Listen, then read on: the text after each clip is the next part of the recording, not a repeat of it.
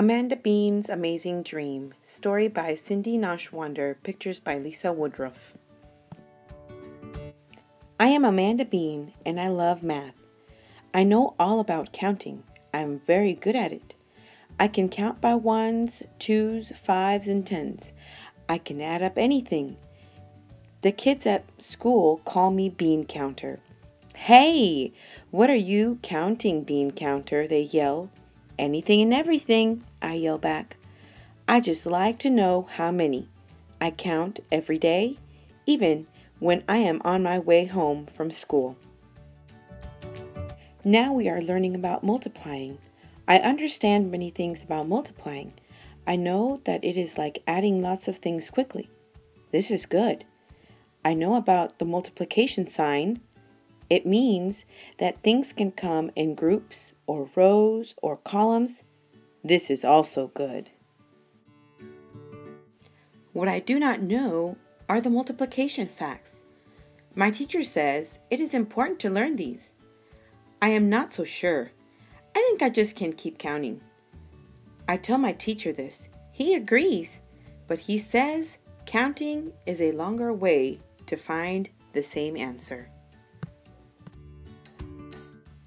I think about this when I get home. I think about this as I eat a snack in our kitchen. I look at the tile countertop. The countertop, I say. I must count these tiles. I notice that there are 12 columns of tiles. There are 12 tiles in each column. It is a long time before I count all 144 of them. I am Amanda Bean, and I like to work quickly. Maybe multiplying would be faster. I walked to the library to check out a book. One bookcase has seven shelves and nine books on each shelf. I am Amanda Bean and I count anything and everything. I start counting. I finally figure out that there are 63 books in the bookcase. I am happy to know this, but now the library is closing. It is too late for me to look for a book. Maybe I should learn to multiply. Maybe it would make counting easier. I am still thinking about this when I go to bed. I am very tired, but my mind just will not quit thinking about numbers. Once, when I could not sleep, my mother told me to count sheep.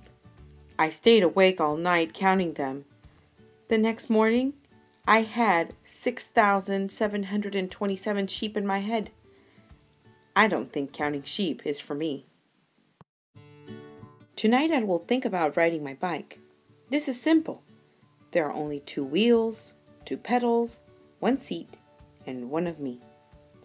I will imagine a quiet ride in the country, I whisper to myself.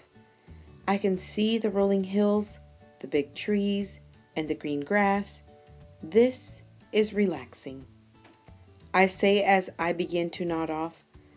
I am pedaling along a quiet back road. The sun is shining. A gentle breeze is brushing against my face. This is relaxing. Then I notice something. It looks like eight bicycles with sheep on them. How many wheels is that, I wonder? I start counting. But the sheep whiz by so fast, I cannot count all the bicycle wheels. Wait! I yell I am Amanda Bean and I count anything and everything.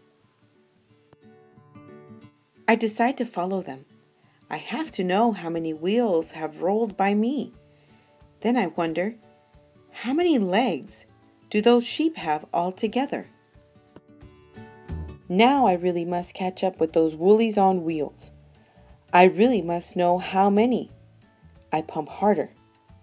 I breathe harder. Up the hill they go, up the hill I go. Around the bend they go. Around the bend I go. The sheep stop at a barn and get off their bikes. I get off my bike too. I do not stop to count the wheels. I follow the sheep. They go into the barn. I go in too. They reach into their fleecy pockets. Each sheep pulls out five balls of beautiful yarn. Oh no! I cry out. Now I must count the yarn too.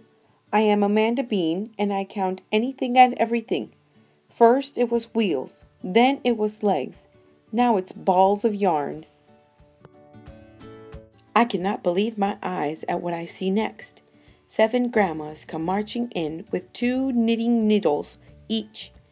They take the yarn from the sheep and start knitting sweaters. This dream is getting too crazy. Now I must add knitting needles to my list of things to count. And each sweater has two arms. Should I count them too? The grandmas start wrapping all the sweaters around me. Stop, I tell them. How can I count all the arms in the sweaters and all the knitting needles and the balls of yarn and the sheep's legs and the bicycle wheels if I am all wrapped up? M U L T I P L Y, bleat the sheep. Multiply, multiply, multiply, chant the grandmas. Multiply? I ask. I am Amanda Bean and I count anything and everything I say. Multiplying is counting, says the grandmas. It is just a fast way of counting. Yeah, agree the sheep. I wake up to find my mother wrapping me in her arms. I had an amazing dream, I say. It was a noisy dream, my mother says. Today I will start to learn my multiplication facts, I announce. They are important to know if you want to find out how many. And you need to know fast. My mother agrees. I am Amanda Bean. I still love knowing how many. But now I multiply anything and everything, and I never count sheep.